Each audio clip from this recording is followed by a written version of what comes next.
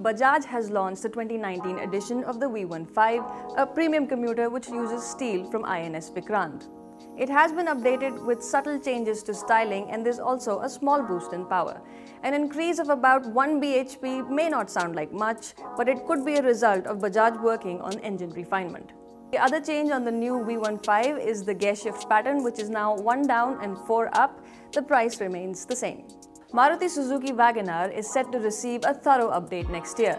A direct rival to Hyundai Santro, the new WagonR will be launched on 23rd January 2019. It is expected to be based on the Heartect platform, which also underpins the new Swift, which means the dimensions will be slightly larger, so expect a roomier cabin as well. This will be the third generation of the WagonR, which is extremely popular in India, expected to look very different from what it is currently. However, it will retain the iconic tall boy appeal. It will likely be powered by the same 1 litre petrol engine that comes on the current model. However, there will be some changes to the tuning for better fuel efficiency.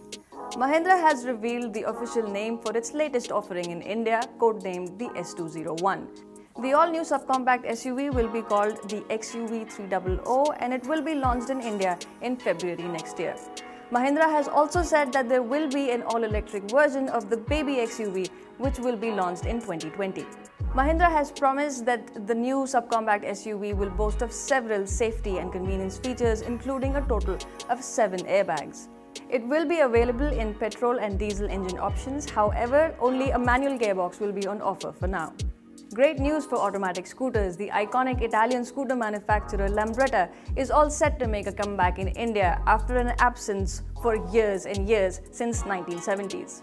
The company has also announced that it will be showcasing brand new products at the upcoming 2020 Auto Expo, where it will also take the wraps off an all-new, all-electric Lambretta. New video alert, do watch our review of the new Nissan Kicks for everything you need to know about the Hyundai Creta rival. For all things auto, log on to www.expressdrives.com.